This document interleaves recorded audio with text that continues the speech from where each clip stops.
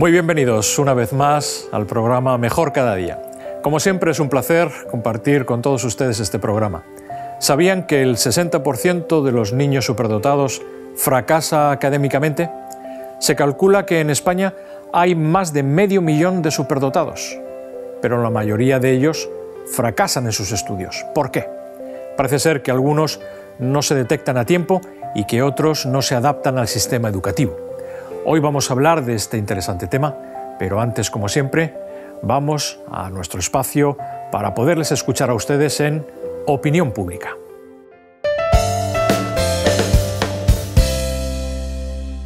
Pues son niños que tienen una inteligencia superior al resto de, los otros niños y bueno, eh, que habría que potenciar eso porque realmente es el futuro.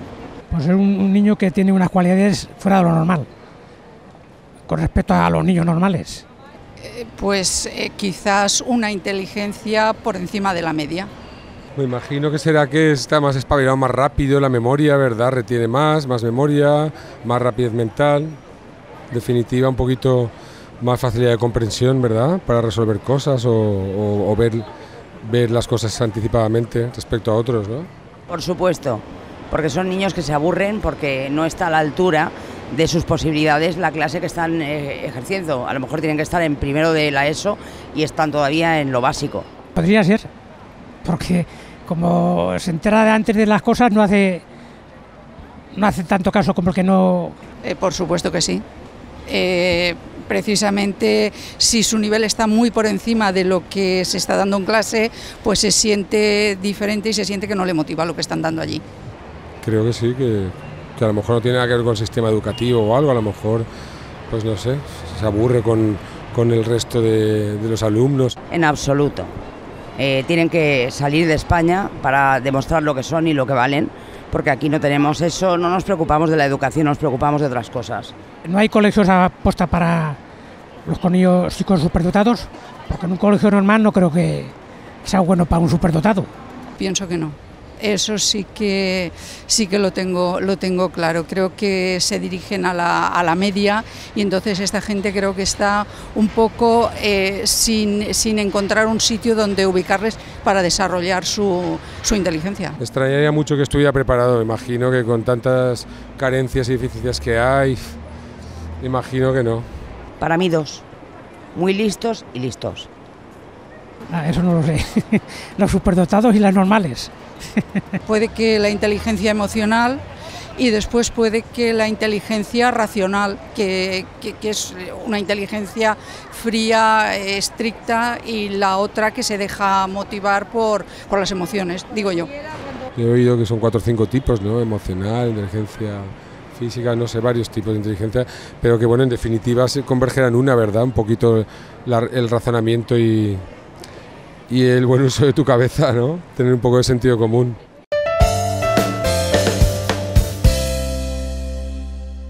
Interesantes, como siempre, esas opiniones de nuestros ciudadanos.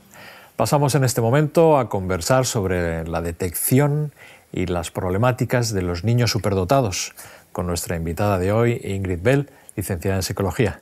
Muy bienvenida, Ingrid. Este es un tema que nos preocupa a gran parte de la sociedad porque tener niños superdotados pues no siempre es fácil de gestionar y por eso hoy queremos tenerte como invitada para respondernos algunas preguntas. Encantada, haré lo que sea posible.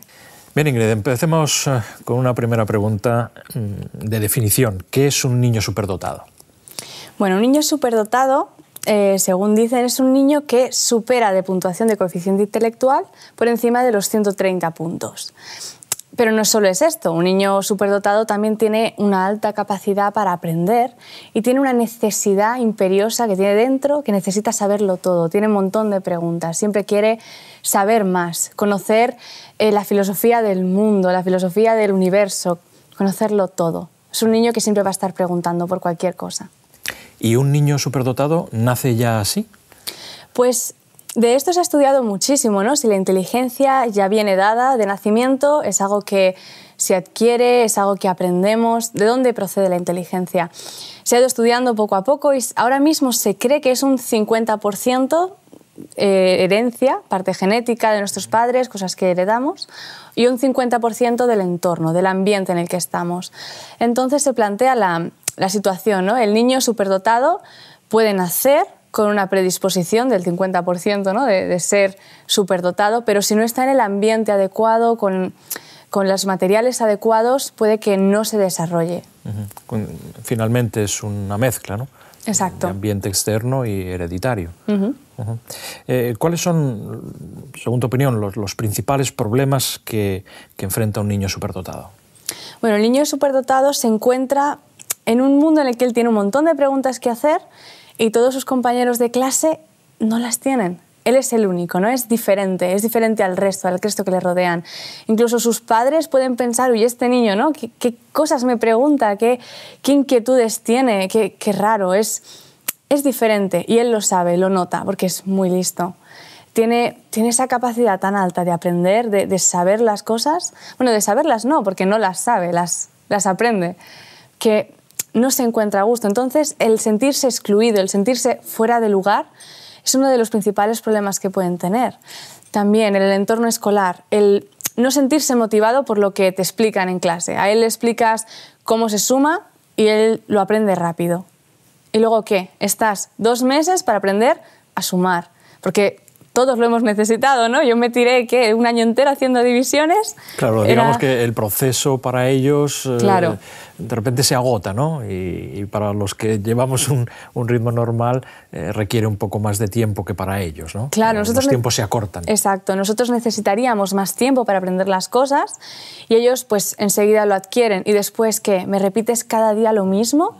Es aburrido para el niño, se desmotiva, no tiene ganas de, de estar en clase. Mm.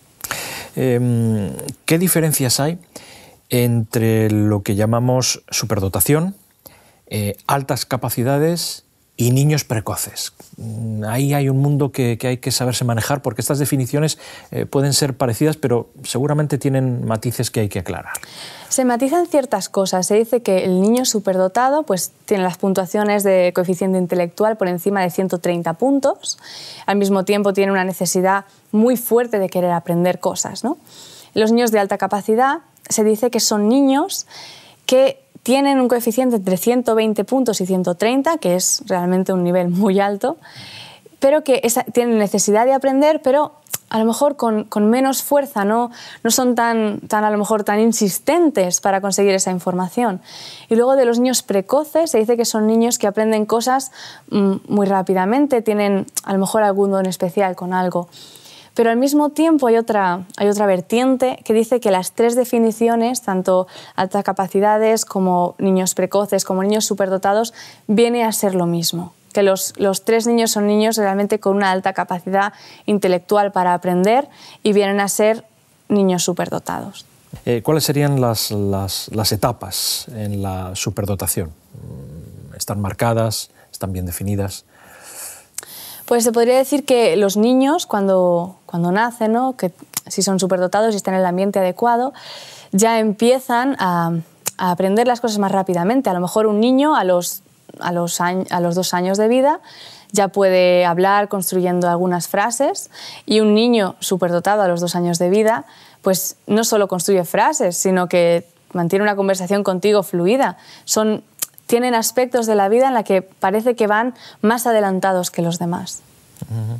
eh, ¿Cuáles son sus características en la infancia de la superdotación? Pues eh, básicamente esto, se adelantan al, a los demás. Van como uno o dos pasos por delante al resto. Son, son niños eh, muy, muy activos, por lo general, niños que, que buscan siempre, niños que, que, se mueven, niños que están investigando. A lo mejor a algunos les gusta algo en concreto, ¿no? Hay niños que tienen una alta capacidad para hacer dibujos, son, son grandes artistas. Otros aprenden a leer casi por sí solos y nadie sabe cómo ha aprendido este niño a leer, pero ha aprendido cada uno, pues, según, según lo que más le guste, lo que más le motive, se puede mover en un área o en otra. Eh, sería una mezcla entre precocidad y velocidad de aprendizaje, ¿no? Sí. Aprenden más rápidamente y, y antes, ¿no? Exacto. Eh, ¿Qué pruebas se realizan, si se realizan algunas pruebas para, eh, para detectar eh, la posibilidad de que tengamos un, niño superdotado? Las, las, pruebas que se realizan eh, parten de la evidencia, de, de, que tú ves que tu niño pues, tiene, tiene algo, algo distinto a los demás, que a lo mejor en la clase pues no está adaptado, es algo diferente. Entonces se le, se le suelen pasar pruebas de coeficiente intelectual pues, para medir la puntuación. ¿no? Esto puede ser un arma de doble filo, porque las, las, pruebas a lo mejor el niño, si le han realizado varias, pues ya conoce las respuestas, pero igualmente no es algo que tiene que marcarle, que tenga una puntuación de 130 o demás. Si el niño realmente destaca en ciertas cosas, el niño tiene ciertas capacidades que son avanzadas, se puede ver como el niño es superdotado. Eh, ¿Qué orientaciones generales eh, podríamos dar a los padres, a los familiares más cercanos de, un, niño una niña superdotados? Pues en primer lugar no hay que olvidar que es un niño que es lo que mucha gente olvida, ¿no? Como el niño te pregunta, ¿y por qué estamos en este mundo? ¿Y, y por qué las estrellas giran así? ¿Y por qué? ¿Y por qué? ¿Y por qué? ¿Y por qué? Muchas veces los padres ya lo ven casi como un adulto. Es, es un adulto, es muy listo este niño, es un adulto. No es un adulto, es un niño. Es un niño que, que necesita el cariño, el cariño de los padres, el cariño de la gente que le rodea, que necesita que le comprendan, que evidentemente va a preguntar miles de cosas y va a buscar muchísima información.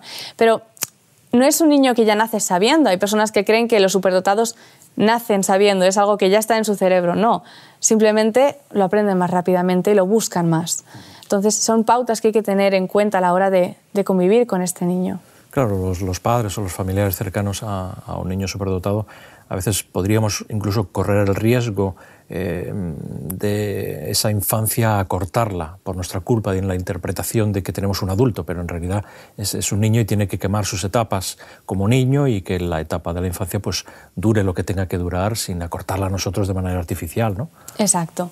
Muchas veces estos niños se ven pues fuera de lugar porque con, como decíamos, ¿no? con los niños de, su edad mantienen una conversación. ¿Qué dijo el filósofo? Eh, ¿Tú sabes lo que dijo el filósofo tal?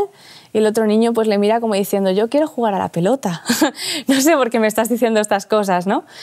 Es, es, sigue siendo un niño, un niño que, que, busca a sus amigos, que busca estar a gusto en su familia. Eh, ¿Se desarrolla igual la capacidad emocional que la física o cognitiva en, en este tipo de niños? Eh, se desarrolla igual al resto de los niños. Ese es el problema, ¿no? que están muy avanzados a nivel de, adquirir conocimientos, pero a nivel emocional, como decíamos, es un niño. Es un niño que necesita a papá, mamá, necesita que le den las atenciones, necesita que le den cariño, que le den abrazos. Y el hecho de sentirse diferente incluso genera un problema, ¿no? El, ver que soy un niño distinto a los demás, pues, ¿qué pasa? ¿Tengo algo malo? Algo que no funciona dentro de mí y no es eso, ¿no? Hay que, hay que decirle, hay que, hay que mostrarle que sigue siendo un niño normal, que tiene a mamá y a papá, que le cuidan y que, y que le van a enseñar las cosas. Eh, ¿Cuáles son las consecuencias de, esa sincronía? ¿no? Porque quiero decir, igual que los otros niños crecen de la misma manera a nivel físico, pero la otra faceta eh, despunta. ¿no? Eh, esa sincronía puede ocasionar algún tipo de dificultad. Claro, para, ellos es, el sentirse completamente fuera de lugar. El momento en el que el adulto considera que ese niño crece a la vez, tanto emocionalmente como intelectualmente, le trata como si fuese un adulto. Y el niño no lo comprende. El niño no, está preparado para que le traten como un adulto, es un niño. Entonces se siente, se siente mal, hay, algo, hay algo que falla en esa relación. ¿Qué tipos de superdotación existen? Quiero decir, ¿se pueden distinguir con facilidad? Pues al existir diferentes tipos de inteligencia, la inteligencia artística, la verbal, a lo mejor más relacionada con la espacial, la matemática, pues cada niño puede, puede guiarse, puede pespuntar hacia una u otra, ¿no? Puede tener más facilidad. A lo mejor un niño es superdotado en el, en el ámbito de las lenguas, ¿no? Puede puede saber escribir grandes poemas, puede incluso escribir un libro, ¿no? A lo mejor es una barbaridad, pero puede tener una gran capacidad en este aspecto. Y otro niño puede saber hacer cálculos mentales que nosotros con una calculadora estaríamos un ratito ahí metiendo los numeritos para poder saber el resultado. Curioso. Es, cada uno puede ir hacia un lado o hacia otro. No tienen por qué a lo mejor desarrollarse en, todos los niveles a, la vez. Eh, eh, ¿Cómo es el comportamiento de, del niño o la niña superdotados en, en el aula? ¿Se les nota? Pues muy al contrario de lo que la gente piensa. La gente cree que estos niños tienen que sacar notas brillantes, ¿no? Tienen que ser los niños del 10, que nunca suspenden, que se portan genial porque son muy listos. Y no es así. El niño, al encontrarse en un entorno en el que la información pues ya la tiene, está desmotivado, sus compañeros pues posiblemente no sean los amigos ideales que él, que él, quiere porque no puede hablar de lo que a él le interesa con ellos, necesita llamar la atención, no, no tiene una motivación para ir a clase, puede incluso que no quiera y al ir obligado pues tenga comportamientos agresivos, trate mal a los otros compañeros eh, y posiblemente suspenda porque no estudie y al no estudiar no aprende. Entonces puede incluso quedarse fuera del, sistema educativo. Porque si yo no estudio a sumar, o sea, si yo, no, si yo no aprendo a sumar porque considero que es una tontería, que es demasiado fácil, pero ni siquiera lo practico una vez, no, voy no lo voy a aprender por muy superdotado que yo sea. Y si no lo aprendo, cuando me lo pongan en el examen, suspenderé. Entonces, estos niños entran un poquito en ese, en ese bucle de es muy fácil, no lo estudio, suspendo. Bueno, ahí hay una labor fundamental de todo el equipo eh, docente. profesores, docente, ¿no? Que, tiene que darse cuenta de que tiene un reto especial ahí. Claro. delante de ellos. Eh, el problema es que las aulas están muy bien adaptadas para, para los niños que no, tienen ningún tipo de, de déficit o, que pespunten en algún tipo de, de actividad, ¿no? Pero eh, no, están, no están preparados los docentes para actuar con este tipo de niños. En una clase hay muchísima cantidad de niños, cada uno con, con sus detalles, ¿no? Cada uno hay que, hay que tenerlo en consideración, a lo mejor en matemáticas porque va mal, al otro en lengua, al... es muchísima diversidad de, de niños aparte de los que ya tienen a lo mejor un, déficit en, los estudios, que, que, no llegan, que son niños que necesitan un apoyo, que necesitan clases particulares, que también tienen una adaptación curricular. Y luego están estos niños superdotados, ¿no? que de alguna manera son los grandes olvidados. ¿Qué haces con el niño superdotado en el aula? Pues los docentes deberían de darle eh, un material más acorde a lo que el niño busca, pero es, es, una tarea muy complicada para la que los centros ahora mismo no están preparados. En este sentido, te iba a preguntar si existe en España un sistema educativo adaptado para niños superdotados. Sí que existen, hay algunos centros especializados donde están pues, los niños con altas capacidades que les están pues, dando ese tipo de material que les va estimulando según lo que ellos les gusta y van aprendiendo y pues se sienten también muy bien. De hecho, este tipo de centros a ellos les viene muy bien porque se relacionan con niños que tienen las mismas características que ellos. Son niños que, también quieren conocer y de alguna manera no se sienten solos. Es a lo mejor esa falta de, compañeros, esa falta de, sentirse, de sentirse parte del grupo aparece en este tipo de centros. Eh, ¿Cómo son las conductas de un niño superdotado eh, sin estimulación? Pues eh, suelen básicamente abandonar los estudios. Como no están motivados por estudiar, lo dejan, lo dejan todo. Suelen, a lo mejor incluso pueden llegar a pagarse, pueden ser niños que dejen de, sociabilizarse con los demás. Claro, si, si el niño te hace preguntas, tú no le contestas, tú no estás por él, tú no le das material, es un niño triste, al fin y al cabo. Es un niño que no tiene el, propósito, ¿qué, ¿qué, va a hacer con su vida? ¿A dónde, ¿A dónde tiene que ir? ¿A quién le tiene que preguntar? Si, si papá y mamá no, no, me hacen caso, si no me, no me dan información, si en el colegio estoy, estoy mal, estoy aburrido, estoy triste, no, no tengo amigos. Es, es, un niño que tiene un, un, problema muy grande, incluso pueden abandonar pues eso, los, los estudios completamente. Todo un desafío, un reto ¿eh? para la familia, para las personas que, que, estamos cercanos a los niños superdotados. ¿eh? Sí. Eh, ¿Qué consejos podríamos dar eh, para los padres que, tienen un niño una niña superdotado a nivel general?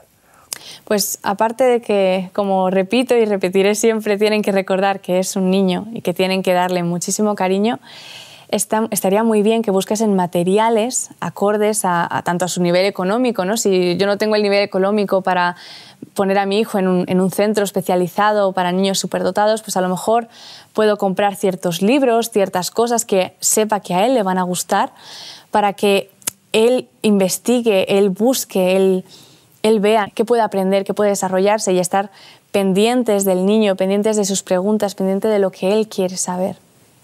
Eh, ¿Qué dice la teoría de las inteligencias múltiples y de qué modo se articula con, con el tema que estamos tratando?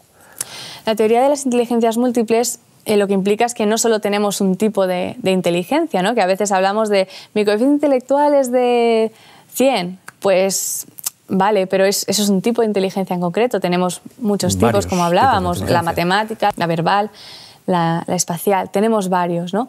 Entonces, pues es lo que decíamos antes, el niño no tiene por qué, por qué ser superdotado en todas ellas, puede que a lo mejor solo sea en una. Entonces hay que tener también un poquito en cuenta a la hora de buscar ese material, ¿no? ¿Qué, le motiva a mi hijo? ¿Qué es lo que quiere él, aprender? ¿De qué él está todo el día preguntando? ¿Qué es lo que me pregunta para buscar ese material acorde? Eh, suelen triunfar en la vida, entendamos la pregunta, ¿no? Vocablo triunfar, ¿no? Pero suelen triunfar en la vida los adultos eh, que han sido niños superdotados, Sería fácil decir que sí, ¿no? Como tienen una gran capacidad intelectual de decir sí, triunfan. Pero como decíamos, no es solo la parte biológica que pueda tener el niño, la, herencia, sino el entorno que le rodea. Si el entorno no es lo suficientemente eh, motivador para él, para que él se ponga a estudiar, para que él se ponga a buscar, el niño lo va a dejar. Y al dejarlo, por muy superdotado que sea, no va a llegar a nada. Al igual que no todo aquel que triunfa es porque es superdotado. Fue superdotado en su infancia, ¿no? Al fin y al cabo, el, triunfar o no triunfar, el éxito que podamos obtener, es del esfuerzo que ese niño pueda realizar o no pueda realizar.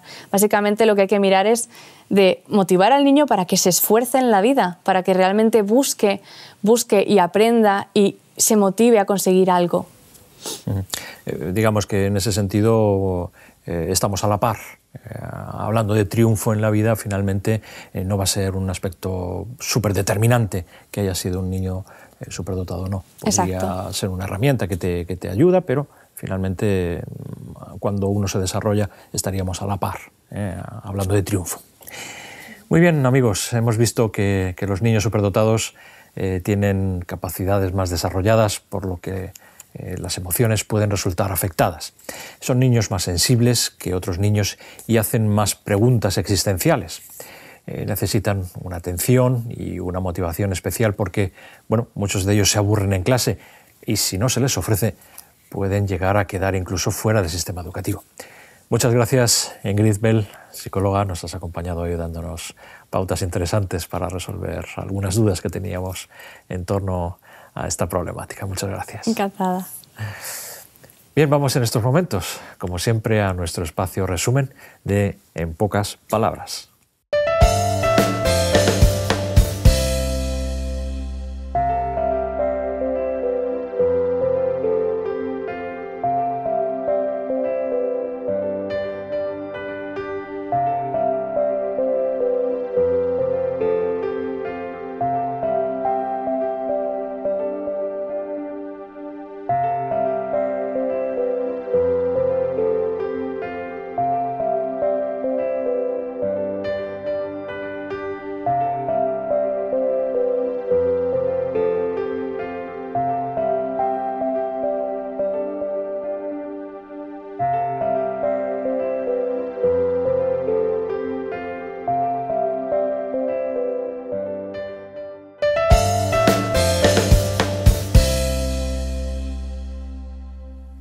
Bien, nos vamos ya amigos, pero antes les recuerdo que tienen a su disposición la web hopmedia.es, en la que pueden disfrutar de interesantes programas de televisión y radio a la carta.